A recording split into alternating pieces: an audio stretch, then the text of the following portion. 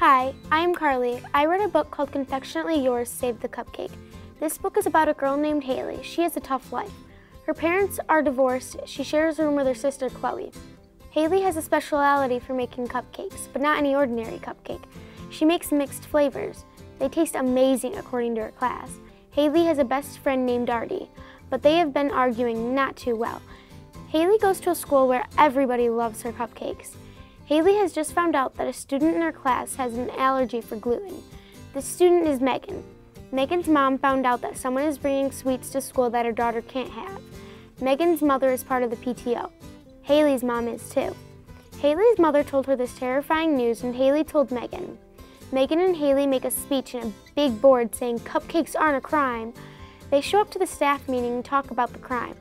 In order to figure out the ending, you have to read the book.